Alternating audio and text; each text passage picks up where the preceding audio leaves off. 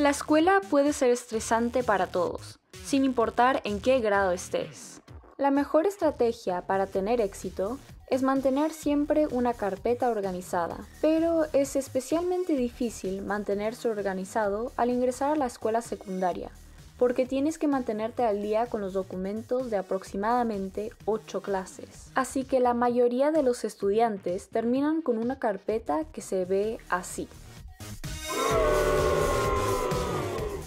Para evitar este problema, solo tienes que seguir estos sencillos pasos para mantener una carpeta perfectamente organizada. Los materiales que necesitas son una carpeta de 2 pulgadas, 8 divisores con bolsillos, aproximadamente 10 protectores de hojas, un paquete de hojas rayadas, un paquete de hojas cuadriculadas si es necesario para tus clases, un lápiz, y un marcador. Paso 1. Pon tu nombre en tu carpeta con un marcador. Y no tengas miedo de diseñar y personalizar tu carpeta con calcomanías y diseños a tu gusto. Esto ayuda a evitar que otros estudiantes tomen tu carpeta por error. Paso 2. Toma tus divisores y etiqueta las pestañas en el orden en que están tus clases. Luego, colócalos dentro de la carpeta.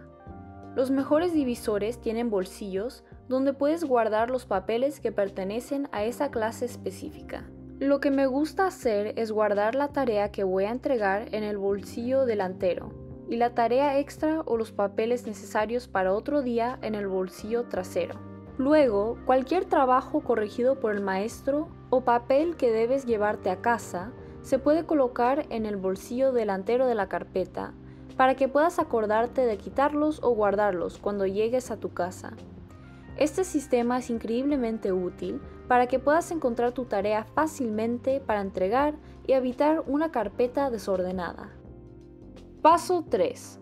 Coloca los protectores de hoja y el papel detrás de los divisores. Siempre es necesario tener papel a mano para cualquier clase y tener unos 10 protectores de hojas extra en caso de que te den un documento o papel donde es importante que no se doble ni arrugue. Paso 4. El último paso sería agregar tu bolsa de útiles escolares o tal vez tu agenda en tu carpeta. Esto es opcional. Si decides hacerlo, el mejor lugar para colocarlos es en la parte delantera de tu carpeta para evitar que tus papeles se doblen o se dañen.